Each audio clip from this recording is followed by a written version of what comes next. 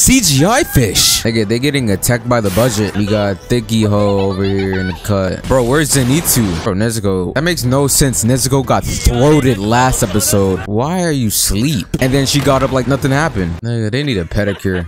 Holy. Damn it, the rubble? What are we watching? Attack on Titan? Episode 1? Yeah, please kill this demon, please. He's spawning CGI. Let me guess. The Hashira took it on some anime Piccolo shit. You showing no emotion, bro? You just got stabbed through your shits. It's through his ear. Bro, Nezuko acting like she can't get up, bro. Wait, can't he just like fan out the fire? That's the smartest thing to do.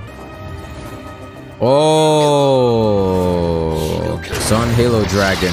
Woo! Okay.